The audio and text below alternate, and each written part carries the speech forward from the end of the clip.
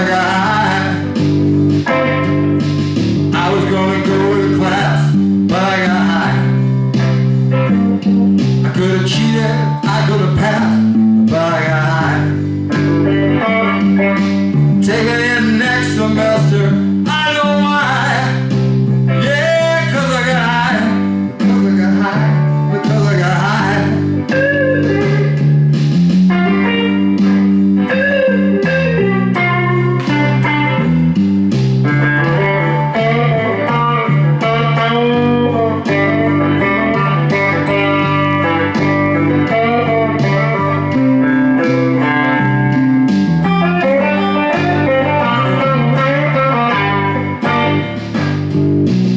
I was gonna go to court before I got high.